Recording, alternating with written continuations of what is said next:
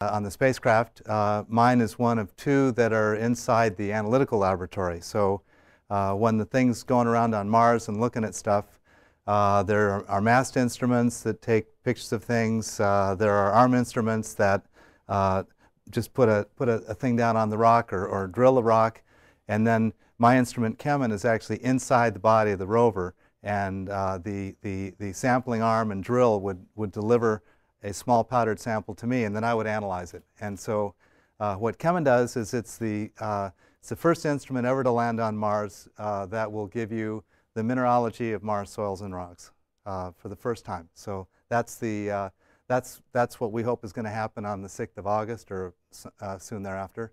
Now, um, I have some slides to show you exactly how the instrument works. And then I have one, of our, one of our field instruments here in the orange box and I'm actually going to run some analyses. Uh, and I sort of know what these are, so I won't be stumped by the answer, but I'm going to pretend I don't know, and I'll show you how uh, CheMin would analyze these things on Mars, and I'll show you how the instrument works. So uh, first of all, let's go to the uh, first slide here. And uh, this is, uh, so it's a, it gives you definitive mineralogy of, of Mars soil and rocks. it uses a technique called X-ray diffraction. And X-ray diffraction is actually not a new technique. Uh, this actually next year when, when uh, Curiosity lands on Mars is the uh, 100th anniversary of the invention of X-ray diffraction. So it's a big deal for mineralogists and diffractionists. Um, it'll identify all the minerals present in soils and rocks. Uh, now why, why is that important? Uh, you know, um, minerals are, are phases and they're stable on, only under certain conditions of temperature and pressure and and chemical uh, things, things around them.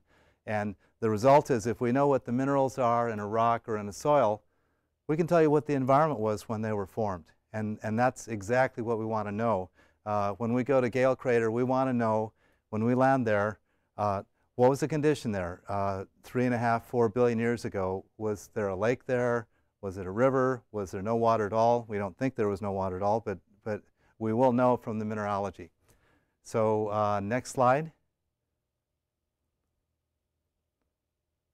Okay, so we use X-ray diffraction for mineral characterization. We also do X-ray fluorescence, which tells you what elements are present in the minerals.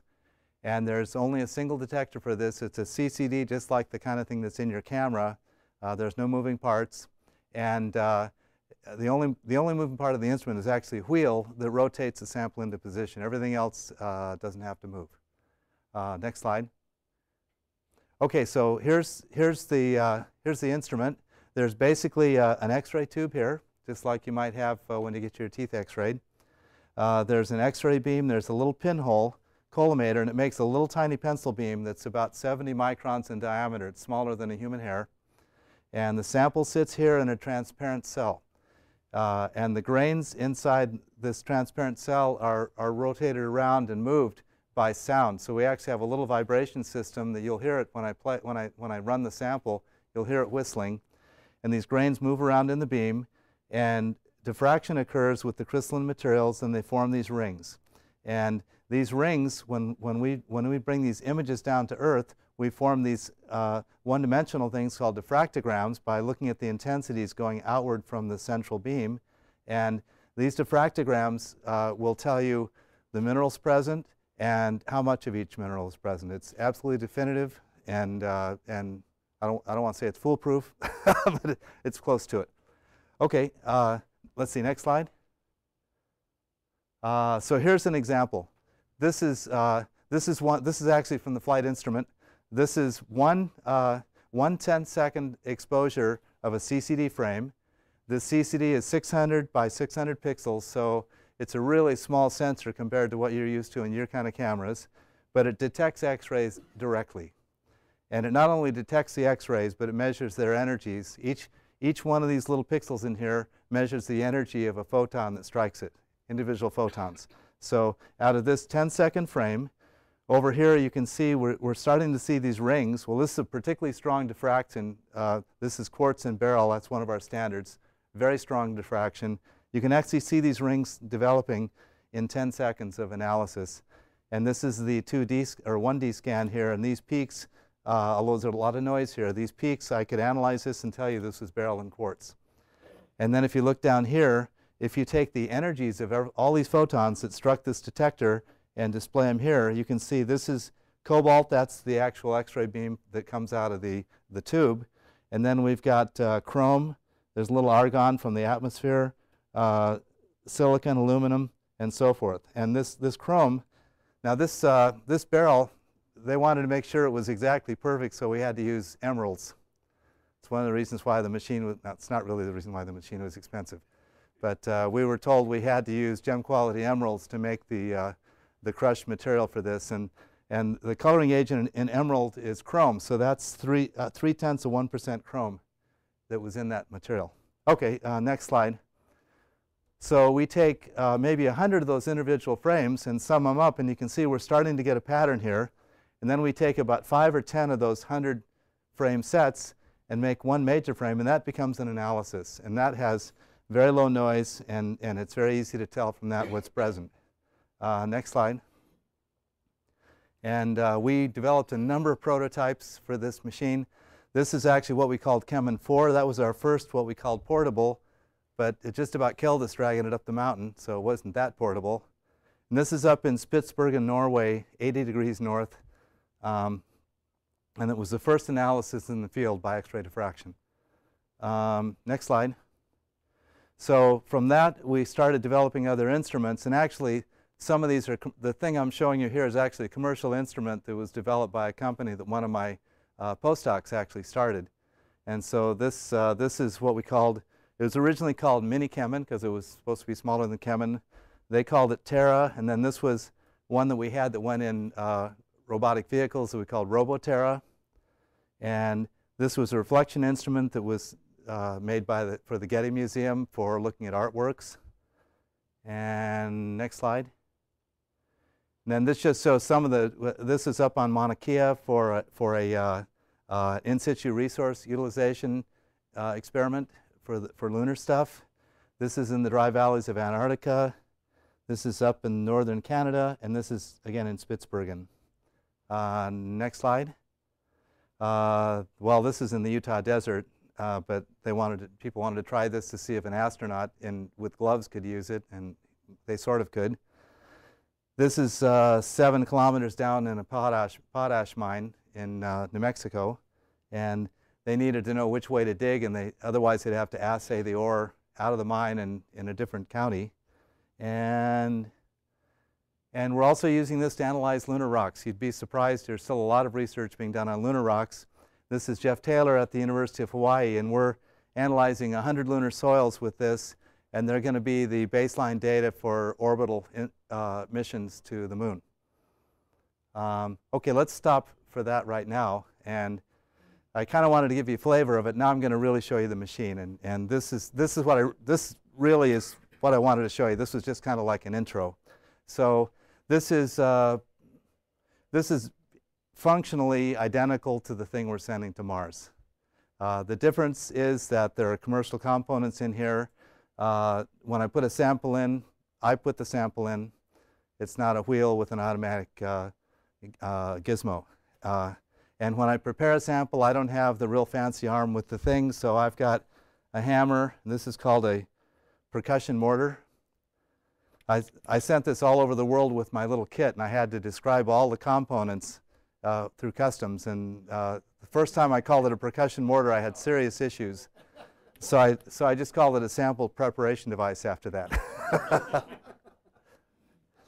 so anyway, this is, uh, uh, we've been all over the place with this. It's battery powered, it's, it's uh, wireless, so I'm actually communicating it wireless with this, this, this thing, this uh, computer. And let me so let me show you how I prepare a sample, and then I'm going to show you the nuts and bolts of what an observation looks like.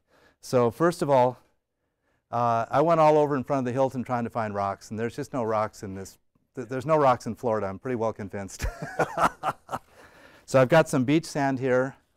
Uh, I've got a couple of seashells, and I've got an aspirin tablet. So I'm going to start with the beach sand. and uh, I'm not sure how fine grained this is, so I'm going to grind it up just a little bit. So I'm just going to put some beach sand in here. Whoops. My apologies to the custodial staff. And I just want to make sure there's enough fine-grained material to analyze. Let's try this. Now this is a this is a 150 micron sieve. This is the same diameter sieve uh, uh, sieve diameter that is used on MSL. So I'll show you what this looks like uh, after I'm done. You can see what how, how small the, the the holes are. And just for, for scale, a human hair is about 100 microns. So the holes are about the size of a human hair in diameter. 100 microns, yeah. Well, no, this is 150. And there's, there's two kinds of ways to hit things. There's whacking and there's thwacking. And so uh, whacking is when you just really whack something. Thwacking is you give it a, a sharp rap. And that's the kind of thing that works for, uh, you know, for things like this.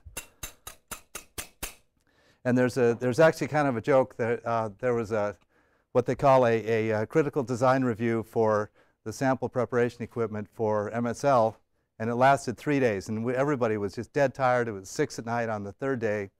And uh, uh, the, guy, the guy who was answering questions, um, basically, uh, somebody asked him, he said th they were thwacking, and, he, and somebody asked him the question, you know, what's the difference between whacking and thwacking? And he basically said, I'll tell you the answer to that, or i am going to show you the answer to that if you ask me another question. I think that was pretty close to the end of the review.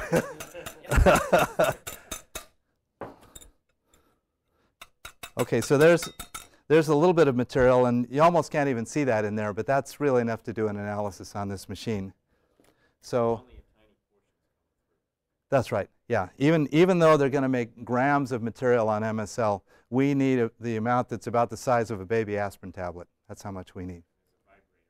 Yeah, and I'll I'll show you that. I this is uh, so let's see. Let me uh, let me start the vibration. It's the the the actual machine going to Mars is is about a 10 inch cube, and this one uh, is, is better than it's worse. It's, it's better because we don't have to have that big sample wheel with all the things on it. It's worse because we, we carry our own power. So uh, the spacecraft provides us with power um, you know, on Mars, but for us, we power with, the, with laptop batteries. So, so these, these are pretty heavy in, the, in their own right. But this, this thing is pretty well packed solid inside. so what you're hearing is, is, is uh, there's base, this works uh, very similar to the uh, sample holders on Mars. It, it, looks a bit like a tuning fork. There's two sides and there's a, there's a piezo vibrator in the middle that, that vibrates at the resonant frequency of this tuning fork. And that causes the material in there to move around and, and like a liquid.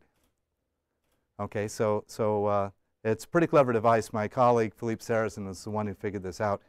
And this actually got uh, NASA Commercial Invention of the Year this year. And I was thinking it really ought to be something like a tricorder or something. I don't know why a thing that just moves dirt around should merit that, but you know, whatever.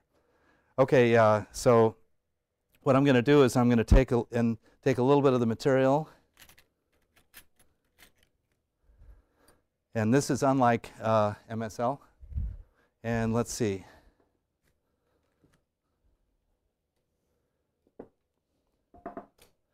So I'm just going to put it on a little spatula here and put it right in this hole. And this is, this is what would be coming down that little funnel and into the sample cells in the, in the machine. And this is what, uh, this is like an external shaker so that we can uh, see what's going on to make sure the sample is good. So I just put this in here. And I don't know if you can see the grains running around in there. It, you can certainly come up later on and take a look, but believe me, they're, they're kind of going in circles. And the noise you hear is actually there's, it's ramping this piezo through about 2,000 hertz, which is the resonant frequency for this uh, uh, tuning fork. And then when it gets a resonance, it really shakes hard. So, okay, I'm going to put this inside here.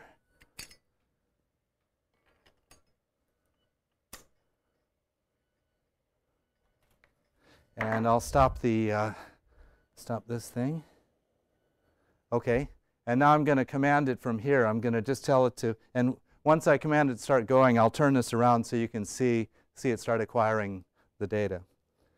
So let's see here.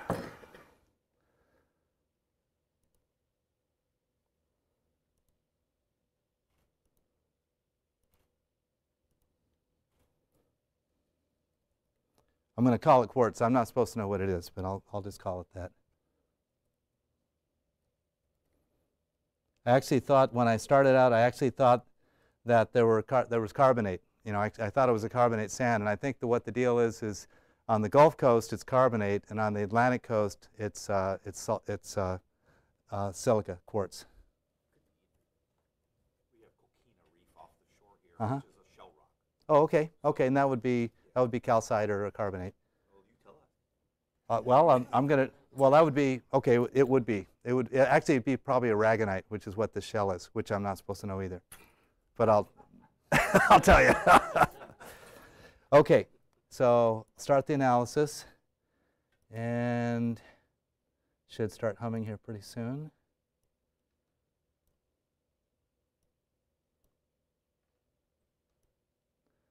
Okay. So it finds resonance and then it starts shaking right around the resonance frequency.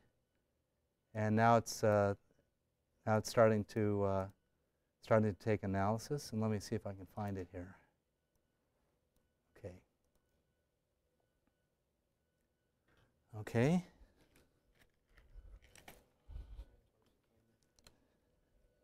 So it's not showing anything right now. You should see the first little pattern pop up.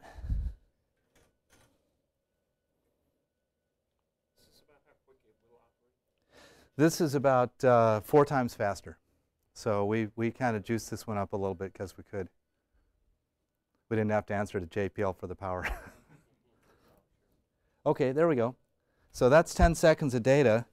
And I can tell, because I know this, that, that the quartz, uh, strongest quartz peak is at 30.5 right there. So I could tell you right now that's quartz, just from that one peak. But, but uh, it collects data uh, and shows it to you as it's doing it. Now, we, we can't do this on Mars because obviously we have to wait for the, the acquisition and the link up to the, to, the, to the satellite and all that. So we won't know for a day. We have to tell it to analyze for five hours, and then we get five hours worth of data. But in the field, if I, if I can figure out what something is in 10 seconds, I move on, you know. So, um, oops. Okay, so I'll show you how to analyze this, and I'm, I, maybe I'll just, if I kneel down in front, would that be good, or, or maybe I can do it upside down. Let's see. Uh, should I turn it this way? Okay, and I can. Here's what I can do. I can I can go right here. Okay, so so there's now that's only that's now five exposures of 10 seconds each. That's 50, 50 seconds of, of exposure. And what I'm going to do now is I'm going to take this data. Uh, let's see. Take this data and pull it down onto this computer. So right now it's resonant on this machine. And as soon as I, I collected, uh, as soon as I, um, let's see, processed, as soon as I download it, then it's resonant on my computer, and then I can use the programs on my computer to uh, do the analysis. So it just simply takes what you saw on the screen. Now it's going to open up in a commercial package called Jade. And it should open up as a pattern here. There's the pattern. Now, uh, normally I'd have to subtract a background. This is a pretty low background, so I don't really have to worry about it. But let's go to Identify, Search Match Setup, and there's a, I have a full, now the, the difference between minerals and inorganic materials is there are hundreds of thousands of inorganic materials. Uh, there's only about four or 5,000 known minerals on the Earth, so, uh, so there's only four or 5,000 to choose from. Um, if there's something that we don't know that isn't a mineral that occurs on Mars, we'll still be able to find it out. It'll be an inorganic compound that's unknown on the Earth, and we'll just name it. We'll know what it. We'll name it. We'll be the guys who name what it is, and it'll be a new mineral. So This is uh, called the International Center for Diffraction Data, powder, powder diffraction files. Uh, and there's like, uh, they have a, a list of all the minerals that are present. And so all I have to do is go search match. And it'll look through all those files and figure out what fits. And it finds quartz. So there's quartz.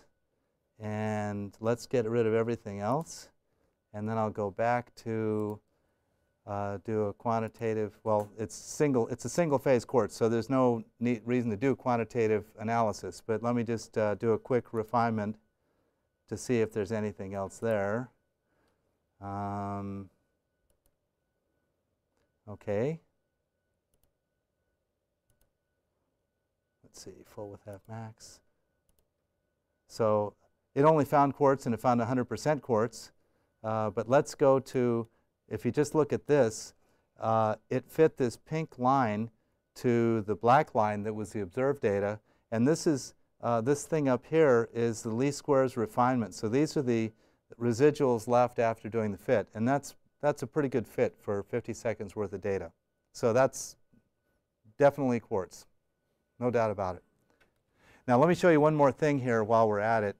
Um, I want to show you what the actual sensor looks like in here. What, what one, let me show you what uh, the sensor that collected all the data looks like. And I can, I can show you an image of that.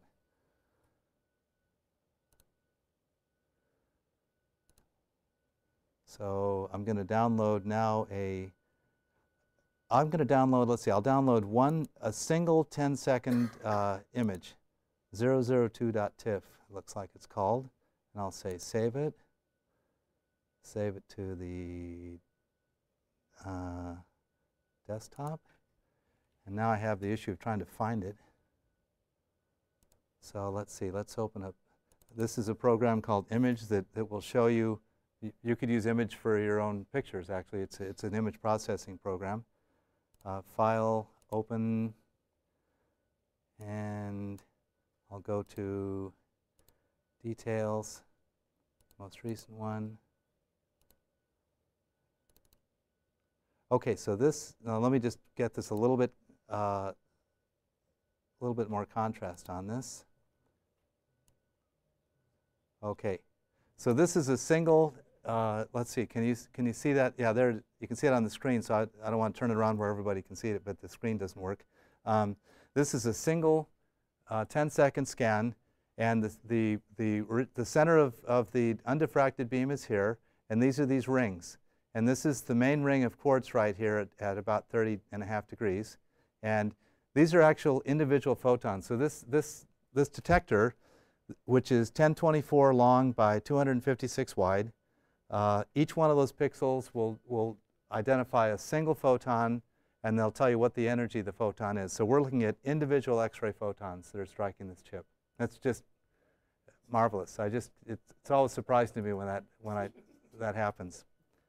You know, if I, if I had figured this out in 1880, I would have certainly got a Nobel Prize.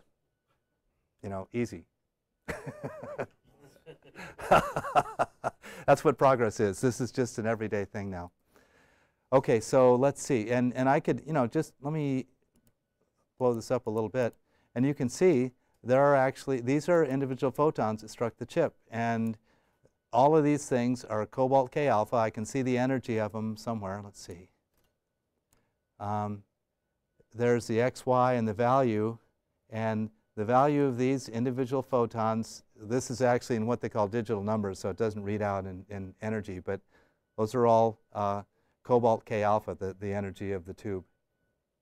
Okay, let's, uh, so let's move on. Let's do something more interesting. Um, any, you know, any questions so far? Uh, um,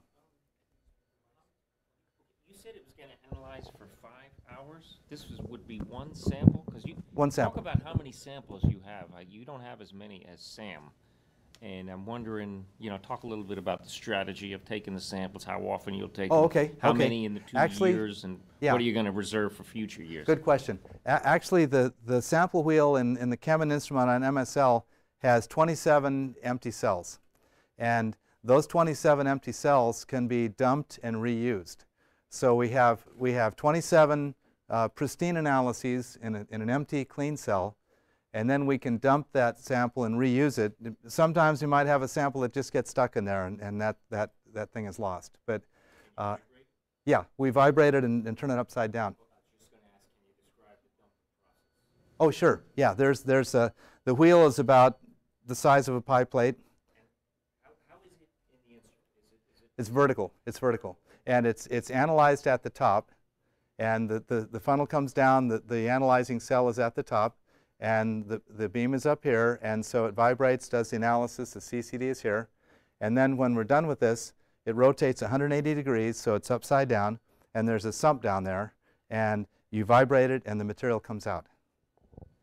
And then we're ready to do another analysis. Can you tell if you have successfully dumped the sample or not? We, we can tell after fashion. We can, we can rotate the cell back up. Uh, we, can do, we can do some analyses and see that we only see clear windows, just, just the polymer windows and no material. Now, the caveat is if there's stuff stuck in the corners and stuff, well, we don't see that. Now, uh, there's a way, and so there's a potential for contamination in a, in a cell that we reuse. Now, there's, there's a strategy for fixing that, and basically it's, it's, it's uh, sample dilution. What we do is we take a used cell if we want to renew it, uh, run it up to the top, and we have, uh, we have the, uh, uh, the ability or the option to take up to three aliquots of material from the SASPA system, one at a time, vibrate them, turn it over and dump it, fill it up, vibrate it, turn over and dump it, and hopefully by doing that we dilute the contamination with the sample we're going to analyze and then dump it. And we also have a, a what we call a sample shunt. It's just basically a, a big hopper that holds material, and if we think the, the funnel is, is contaminated, we can pour stuff through the funnel and dump it, and pour stuff through the funnel and dump it. So we have ways to, uh, to kind of clear the, the machine of contamination. Now, none of this stuff is perfect. I mean, it's really, I'll tell you, the, the high ground is trying to deal with dirt. you know, how do you do it? So that really is, you can make really fancy machinery, but just trying to transfer fine grained material from one place to the other is, is really tough. It's really tough. Exactly, yeah. And we have a little bit, well, I mean, when we saw the results from Phoenix, uh, everybody had a powwow. And the idea was, you know, we, we, we don't know what's going to work if we get in a situation like that. But uh, Gentry Lee, who's one of the big gurus uh, on, our, on, our, on the committee that was reviewing us, or the whole, the whole uh, mission, basically said he wanted as many knobs and dials on this thing as he could. So we would have things to, to twist and, and change to see what we could change to, to make it work. So, but we don't know, you know, nobody knows what you, when you go to some new place, you don't know what you're going to find there. So it's, it's and we're, we're, we're very worried about clogging something. Because Yeah. Phoenix, it was a major Exactly. issue. Yeah, And they, you know better than I did. Mhm. I followed it closely, but yeah, I'm sure you were intimately involved Yeah. in it. They took the huge samples, which I thought, because I'm a chemist, I, I thought they were too huge and too big. yeah. And I, I, I hope you're going to avoid that, or what are you going to do to avoid taking giant samples that aren't going to go through the through that filter and overly large samples? Um, yeah. Maybe I thought they took overly large samples actually. Well, I, I took the cowardly route and figured it was the SASPA's business. Whatever they gave me, I could handle. but the reality of it is, uh, everybody's worried about that. And the first samples we take, uh, we've got an observation tray. They can pick them up, throw them on, on the ground. Uh, you know, the SASPA system could, could process some material and then pour it on this, on this uh, observation tray. We can use the, uh, the uh, hand lens instrument, MAHLI, to, to look at it. Uh, you know, many things, we, you know, we really don't want to make the mistake of clogging something because that would be seriously bad. You can, you can dump that that filter then. Oh, this Right. one, yeah. Yeah, and they, they do the same thing, you know, if it, Dump the whole thing. yeah, let's go like that. And uh, I, I don't know, if, well, I mean, let's see. you're gonna the sample is gonna be sieved through there, but then what's left you can dump out. Yes. How yeah. does that work? Uh, I actually don't know. I mean, they have it's a it's a clamshell system. I, I haven't seen this the the CHIMRA system actually uh, dump samples, but they have the ability to, to scoop material, sieve it, and they can sieve it to two uh, dimensions, to one millimeter uh, which the SAM instrument can take, and to 150 microns, which the SAM instrument can take and, and, and, and I can take. Uh, and that brings up another question. Sorry to ask so many questions. Um, is this? Are you going to take some of the same samples for SAM and CheMin and analyze both exactly. of them? Yeah. In fact, that's uh, the the one thing. I mean, you know, I talked about how mineralogy is going to tell you the environment. Well, it, it, it also tells you. I mean, there's there's no context for an organic measurement without knowing what it was in, and so the the CheMin instrument is going to provide the context for the SAM measurement. Oh, CheMin So, and it's it's it's really critical that we get the same sample. So you're actually uh, going to um, get the data back from CheMin first? Uh, Is that that's what you're that's to be decided. No, it's no. I mean, we, you know, it's going to take some pondering to figure out what we got. But the plain fact is that CheMin's going to take probably one night uh, of analysis to to get a result, and that's going to be sent down. Uh, the SAM instrument, depending upon what kind of analysis they do, that could take one or two or maybe even three days. So so we can't possibly do the analyses at the same time uh, we'll have the same material, and after that period of both things being analyzed, then we have to sort it out. Was first you'll look at the sample by CheMin, get the data, and after that, then put it into SAM. Um, That's not at the same time because it wouldn't make any sense. Then you don't get the context. yeah, certainly, certainly that that will be done, but at at the same time, well, let's see. I, I- I think uh, the you know unless it's very clear that this is not an interesting sample, the the process of drilling and sieving and all that, and and you know stopping at a rock, doing everything else, and saying, okay, this is important to drill, drilling it, having the material and sieving it, that's a multi-sol thing. And I think once we get to that point, we're going to analyze it. I think there there was a lot of thought going into this is important. And, and so at that point, it's probably going to be an automatic unless we think there's going to be some kind of clogging or jamming or a reason why we shouldn't do it. So, Ken Kremer from Spaceflight Magazine didn't ide- identify myself. okay, Sorry. okay. Yeah, so, so, let someone else ask a question. then. okay. No, that, that was, no, I mean, that's, that's, we're worried about this all the time, you know. Uh, okay, should I, uh, I tell you what, why don't I move on? Well, okay, I'll, I'll do the equivalent of, of uh, this is the great thing about being on Earth. I'll do the equivalent of, of, of dumping a sample and show you how easy it is. So if I, first of all, if I turn this upside down, uh, sample stays. Sure, yeah. Yeah. So these are these are two plastic windows, and the and the plastic windows are 150 or 170 microns apart, and uh, the sample in this cell, the sample feeds through that little hole there From up here. from uh, from right here. I, I just dumped it in right there. You oh, now And and let me show you let me show you what it looks like. Well, as long as we're here, I'll show you what it looks like when it's shaking. This is much better to look at it up close. And you can see that it's that it's moving. Oh, yeah. And we have the ability to we have the ability to do this really strongly or it, in, in, in all kinds of different ways if we have uh,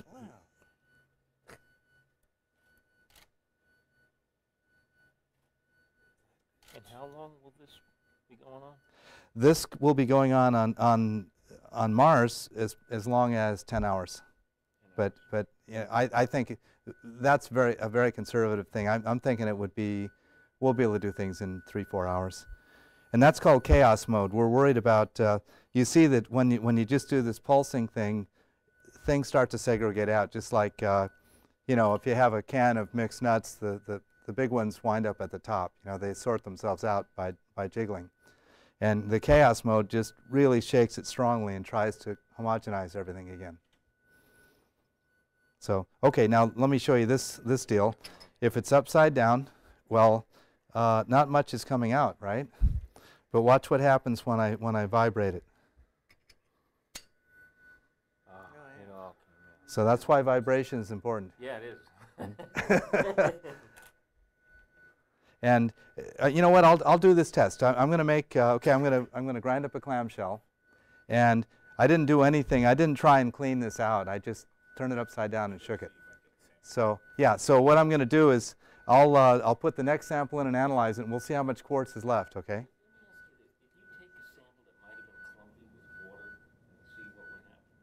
Uh, it can get stuck. If it's, if it's, if, and we have, uh, my, my, my colleague uh, Dave Vaniman is, uh, is on this special team called the, I don't know what it's called, but it, it's like the really horrible materials team. and they're, yeah, and they're analyzing literally stuff that we know is horrible, like, like ice chips mixed with dirt. Yeah, yeah, and that's one of the ones we're going to look at. Yeah. And and we we we literally don't want to look at that. We we I would suggest we can't look at that because that I, I've done. I mean, I this actually will work with liquids.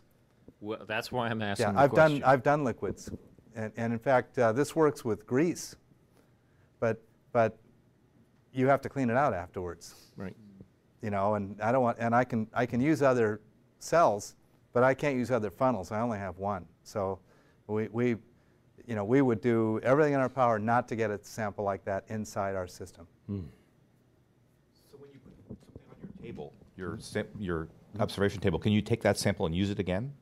Uh, no. Okay, because I was thinking it would just sublimate and then you wouldn't have to worry about the water anymore. Uh, true. What, one of the things we thought about, I mean, we've thought, you know, we've really thought about this a lot. One of the things we've thought about is, so you, you, you drill and just throw everything on the, on the ground and look, or on the observation tray, see what happens.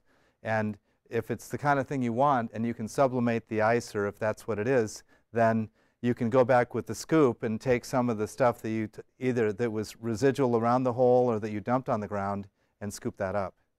But uh, you know, we really, really don't want to have a, a, a- a one-off. Uh, uh, well, you could call it a less than nominal uh, collection. We don't want that. yeah. Okay. Let me. Uh, so we're going to do two things here. I'm going to I'm going to analyze a clamshell, and I I'm going to pretend I don't know what it is. And you saw I didn't really clean out the cell. It's right here, and there's still a little bit of quartz left in there. Now we we would actually dump and fill and dump and fill a couple of times to, to clean out the contamination. But let's just see how much, in this, in this analysis, how much contamination left from quartz. So now I'm going to, I guess I'll do it. This is why uh, geologists are, are so well balanced, because we really can take out our aggressions on a, in on a, yeah, this is our whacker.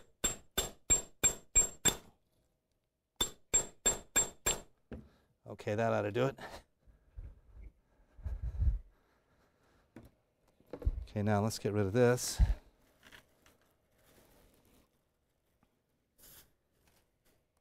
I'm assuming a lot of this is going to be on the cutting room floor, maybe? okay, um, maybe not. okay, so here's my, here's my sieve, and uh, you know, I, maybe I can, if you want to see what the size is, now's a good time. Um, it's, it's pretty fine grained, but that's actually very coarse for the kinds of analyses that we do. Yeah, it's, it's so you find it better to have a lot of small particles than a few large particles, obviously. yeah, this yeah. made of? Oh, this is just stainless steel or brass or Looks like something. stainless yeah, steel in my lab. Yeah. and I have some really expensive ones that are nic- pure There- nickel. Some of them can contaminate, actually, Mm-hmm. but I guess you've done those experiments to figure out Yeah, what could come through. yeah. Now, uh, so let's see. Okay, so now I'm going to take this material that I smashed and dump it in here.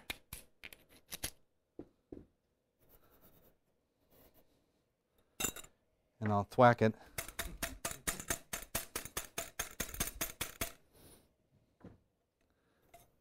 Okay, and there's a lot of material in there from, from just doing that one thing. So there's, there's probably half a gram, which is may, way, way more than I need. You need a few milligrams, Yeah, right? yeah. So that I did exactly the percussion drill is it just pounds on things and, and then and then it, it it entrains the material up the drill stem. So basically doing this is very similar to what's going to happen on MSL. Okay, so now I'm going to take my contaminated ones to use cell and put this stuff in there.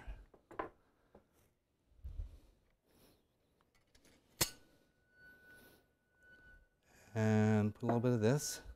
Oh, I don't need to do that.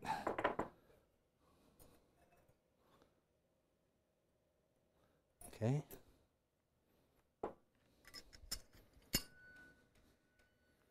Okay, so it's filling up nicely.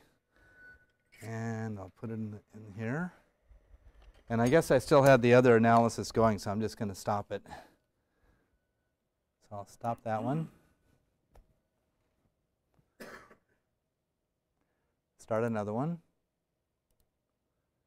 I'm going to call this one seashell.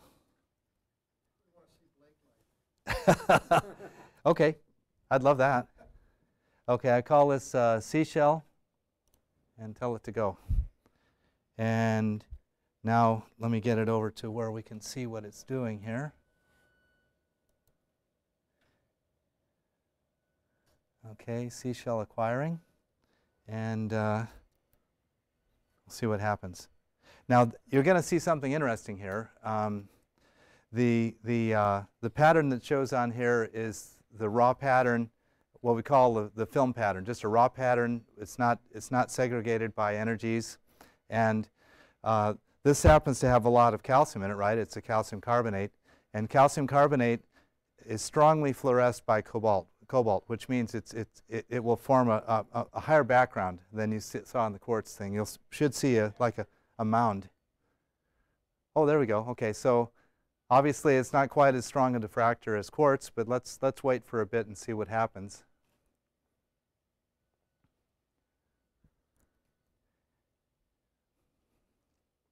Okay, and let's go over to X-ray fluorescence, and I should be able to show you a lot of calcium.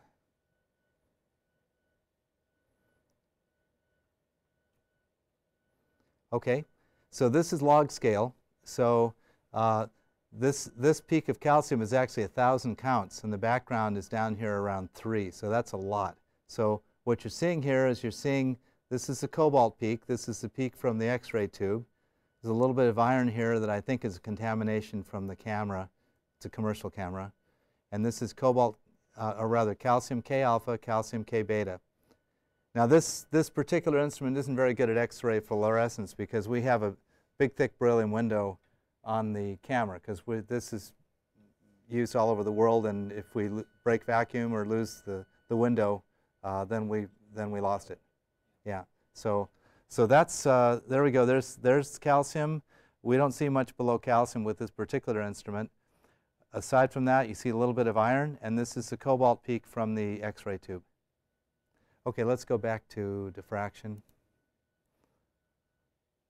Okay, so you can see there's a much higher background here. This high background is, is actually that calcium being detected, and you, you'll see it if I showed you the, the actual image of the chip. You would see there's a lot of counts that aren't on diffraction rings, and those are calcium x-rays. So, uh, no, quartz, quartz is fairly low energy. With, this, with the uh, MSL instrument, we, we could. With this one, we can't. Okay, I'll just let this go a couple more times because there's a lot of noise here. And, oh, okay, quartz is coming in right there, so we'll see a little quartz. This is contamination from the previous analysis.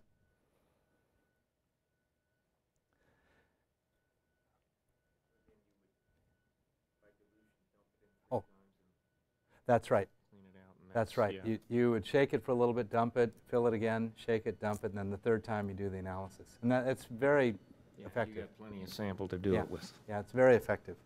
Okay, I'm going to stop right here, and I'll, I'll download this pattern, and uh, we'll analyze it. And something you're going to see, you're going to see that the background of the of the uh, pattern that I that I download doesn't have as high a background, and the reason is this is called uh, what we call film mode. It's just showing you every every photon that strikes the CCD when I download a pattern, I'm going to download something that's filtered for cobalt K alpha. So, so it shows you something that, that is, is only has the energies of cobalt K alpha, which will get rid of that calcium fluorescence.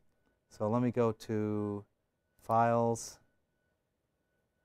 Uh, and I want to go to Processed.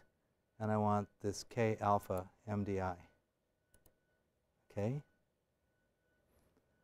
And open.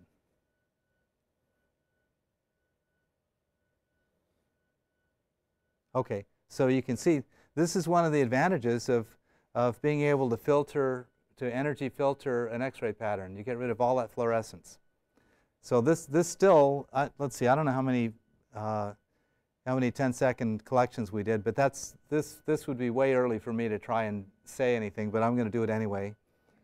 Um, okay, uh, search match setup.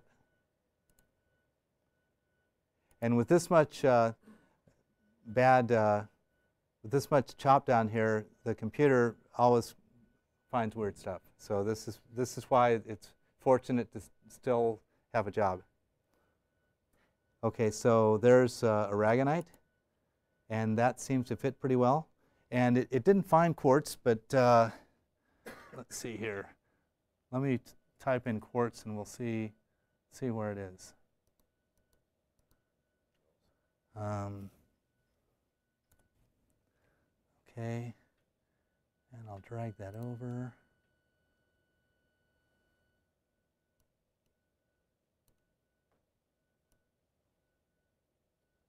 So I'll put quartz over here.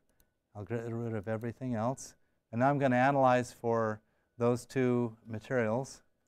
And let's see. Um,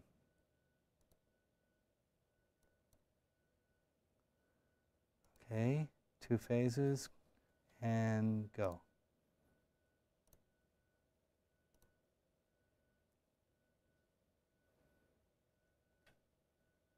Okay, so here's here's what it found. Uh, let me let me change. Well, it's kind of hard to work upside down. Let's see. I think this is it. No. Um, let's see. Let me do this. Okay, and this is it. Maybe.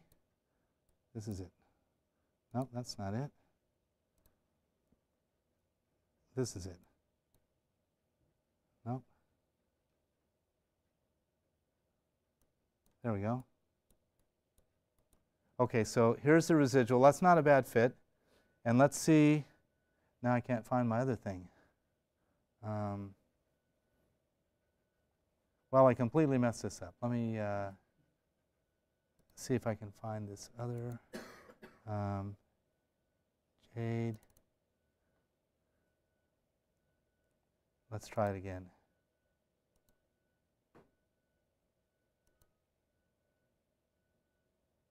Well, now I can't find my. Now I can't find the other thing. Looks like I dragged it off off the off the thing here. Oh, okay. Sorry. Okay. Okay. Let me do. Uh, oh, you're right. Uh, let me do one more thing. I want to. I want to show you something really cool. Uh, okay. Well, I've shown you a bunch of minerals, and once again, I'm not going to spend too much time. There will be some contamination with the analysis because I want to. I don't want to waste time doing anything. Uh, well, it also. I wanted to show you about spin-offs and commercial applications and and ways this is useful.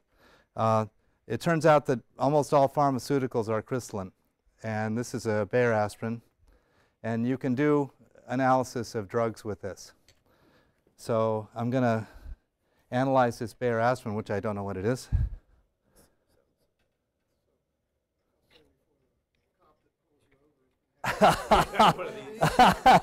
yeah. okay, so let's see. I need to dump this stuff out. This shouldn't take too long. So David, you indicated that your samples are gonna be large enough that you'll have to be able to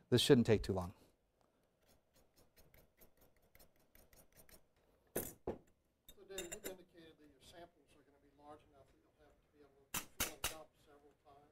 Yes. How, how large do you expect those sample drill events to be? I mean, are you gonna? Uh, they will drill uh, as much as, well, I don't know about tens of grams, but maybe 10 grams of material. So it's way, way more time than, than we need.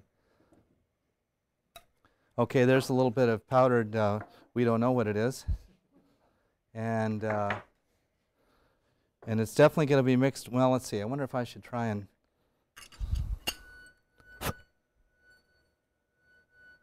Well, it's just going to be contaminated a little bit. We won't worry about it. And I'm sorry? I see a need for an astronaut to blow on the thing. oh, yeah, yeah. Okay, so let's do this.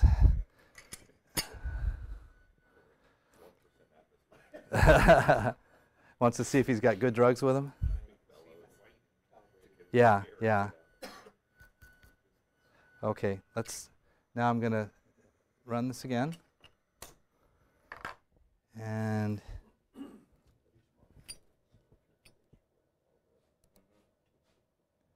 okay. Stop this one.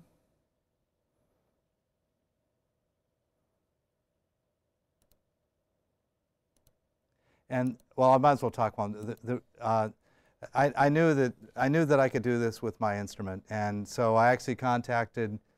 I got really interested in uh, malaria drug screening for for uh, third world countries, and it turns out that between 50 and 90 percent of the drugs in uh, Southeast Asia and, and Africa are, are counterfeit, and especially malaria drugs. And so, I've been analyzing. I've been working with the Republic of Vietnam to get a database and, and try and get this into their system for identifying counterfeit drugs. And, and they, they seem to be pretty interested in doing it.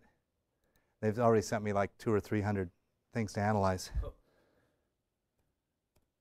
And what I really want to do is I want to make this, it, it is obviously very simple to operate and we want to make it real turnkey, just like you would for a, you know, like a bomb sniffer at, a, at an airport security place. Okay, let's see.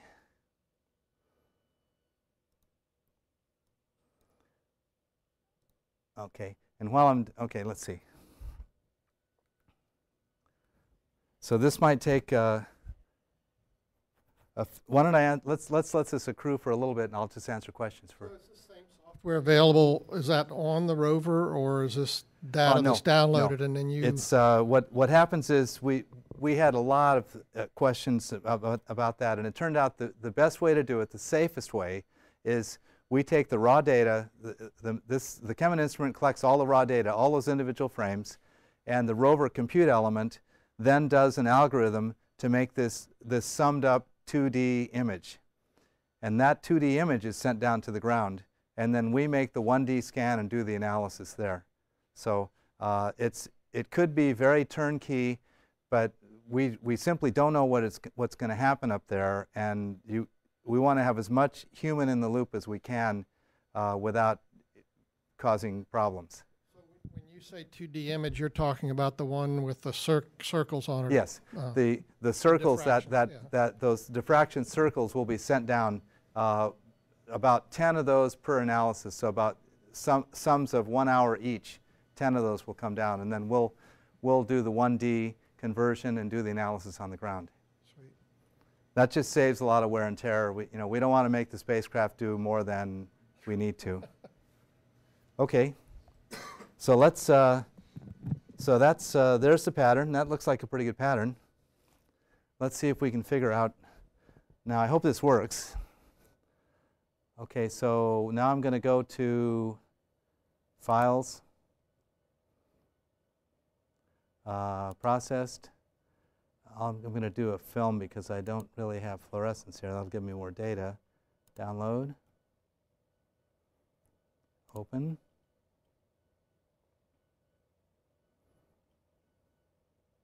Okay, there's the pattern. And I want to put, I'm going to put a background on here to get rid of this, uh, this background. Fit background, uh, cubic spline. Okay, that looks pretty good. Identify, search match. And this time I'm going with this organic data set. This is uh, 450,000 crystalline organic compounds. It's going it's to search 450,000 possible compounds. And uh, one of the one of the problems with the database that, that I use is it's it's got everything but the kitchen sink in there. And the thing is that pharmaceuticals are like minerals. There's only a few thousands of them instead of 450,000. So we really need to make a database that actually suits what we're doing. You know, why, why look through the woods when you know it's in the, it, it's just in the, in the shrubs? Okay. Okay, uh, it found uh, 2-acetyl oxybenzoic acid. That's, uh, that's aspirin. So there's an, there's a, there's an analysis of an aspirin from my, uh, from my aspirin bottle in the hotel, which I used this morning. Uh, uh, yeah. So, okay. So, okay, so let's see. Then uh, maybe it's, can we go to the slides just for the last couple of slides? And I wanted to show you. Uh, okay, this was the next slide. This is what I read when I discovered this thing about uh, malaria pills. And I, this was in the Smithsonian Magazine a couple of years ago. And I, I contacted the scientists that they, that they described in there, and I, and I worked with them for the last couple of years. And uh, so that's how I kind of got into it. And uh, this is uh, acetaminophen, and this is actually wheat starch, just normal wheat starch. And that's what they use as a binder for the malaria pills. Uh, next slide. This is uh, called uh, Metaplantex. It's one of the, one of the and the thing about malaria drugs is on, there's only one miracle drug left, and if it's, if it's abused, then there will be resistance to it and we won't have it. That's why it's so important. So this shows you a quantitative analysis of this Metaplantex pill, which was supposed to have 17% of artesunate, which is the actual active ingredient, and I wound up finding 15.5%. Uh, so that's not too bad, and it, it basically suggests this is a good pill. Um, I think that's it. Next slide.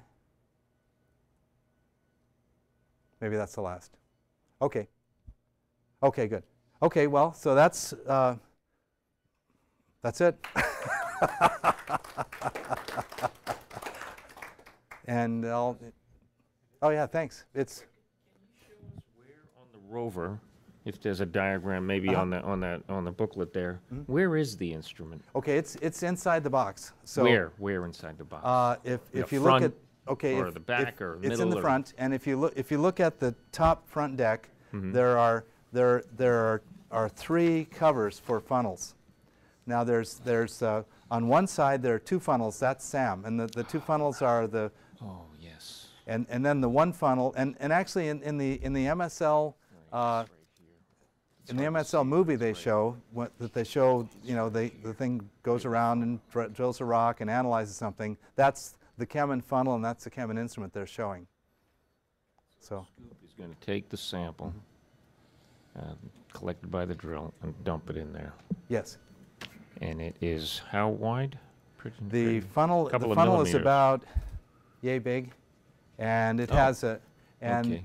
it has about a three millimeter diameter uh, um, portion that goes down to where the, the it drops into the cell Okay, three millimeters. Right. Yeah, I'm And- thinking of that tiny model, and that's this. That's um, yeah actually very dis- misleading. Yeah. yes So the, the, the actual mechanical part, the drill bit, you've, you're taking three of them to Mars. Mm-hmm. Uh, what's you expect, I mean, how many samples can you drill? Do you expect to be able to drill? Uh, Good question. There's, yeah, they have, they're able to, I think the, I, I, I don't think they expect they're gonna wear down a drill. Maybe they, maybe they will, but a, a lot of it was just so that if a drill gets stuck in a rock, they're not, they're not anchored there for the rest of their lives, you know? So, uh, but they're, uh, they're, they're certainly using them as, as uh, consumables. So, uh, the, the real question is on Gale, you know, we, we're, we've got a 20, 20 uh, kilometer ellipse and we're going to be doing a lot of driving to get to the clay regions which are at the edge. And so there, I don't know that there, there will at least be heightened discussions. I wouldn't call them arguments about what we're going to do. People are going to want to analyze every rock they see. People are going to want to just head for the hills. And the real answer is we're, we're not going to be drill limited or sample cell limited in SAM or CheMin. Uh, we won't be resource limited for any of our stuff. Uh, it's really going to be, there's going to be a lot of driving to get to some of the really good spots. And so uh, we don't expect to hit 75 samples, or, which was the original uh, requirement for this instrument, uh, but we, can, we could analyze 75 samples. And I think SAM is in a similar uh, situation. So I don't think there's any consumable related reason why we're not going to be able to analyze what we want to analyze. It's really just going to be drive versus uh, drive versus drill. Well, You know, when you, when you say 75 samples, it sounds like so few. I mean, are you hoping to get more Um, than that?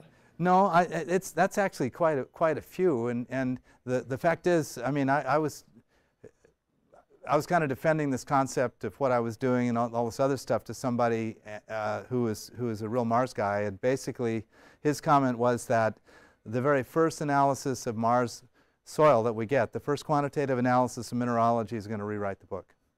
So I, I you know, uh, and it, and really, if we wound up analyzing 75 of the wrong things or 75 of the same thing, we wouldn't, wouldn't learn anything. So I think there's going to be a, a lot of, uh, just a lot of huge thought going into, do we drill this? You know, do we drive there? Do we look at this? And, and with 350 scientists deciding this in a, in a, in a tactical time scale of like eight hours, it's going to be real interesting to see. APXS and the Mossbauer on, Yeah. on, on the rovers. Yeah. uh, let me stop this. So You said this is actually the first mineralogical instrument. That's I thought right. actually it was one of those. Um, okay, well, the, the uh, let's see. The APXS instrument is not a mineralogy instrument. It just tells you elements. So if you, if you analyze a lump of coal, you wouldn't be able to tell it from a lump of diamond. There's nothing wrong with it. It's a great instrument, and, it, and it's, the, it, it's provided really useful data, but it's not a mineralogical instrument. Now, the, the Mossbauer spectrometer does do mineralogy, but it, and, it, and it does mineralogy of iron-containing samples uh, just exquisitely. And in fact, Dick Morris, who does all those analyses, is on my team. Uh, but anything that's not iron-containing, it, it's just not there.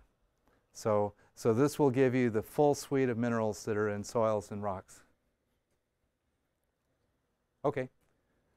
Okay, well, uh, I, I guess that's it. Happy to hang around if you want to. Thanks.